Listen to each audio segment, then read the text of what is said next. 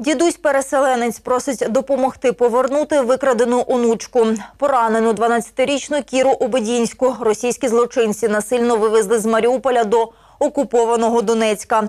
Про це Олександр розповів чернівецьким журналістам. Саме у Чернівцях чоловік із дружиною знайшли прихисток. Дідусь каже, готовий забрати до себе і Кіру. Далі пряма мова.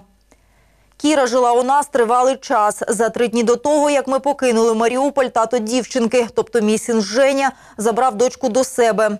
Під час одного з авіабомбардувань син загинув. Внучка була у сховищі з іншими людьми. Згодом Кіра з усіма пішла з групою дітей і дорослих в напрямку з Маріуполя.